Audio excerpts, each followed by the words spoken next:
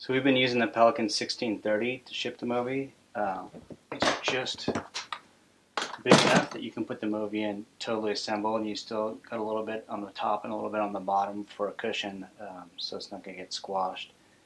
And then, um, you know, it's totally assembled. Sh we ship everything, um, pretty much we leave it on there, batteries, um, motors, transmitters, even the monitor, I just fold it down and then uh, monitor I'm to monitor. Um, you know, the motor remote fits in there. We've got um, the stand, you know, the legs, um, all the other like spare parts and accessories, and I think I even have the follow focus remote in there.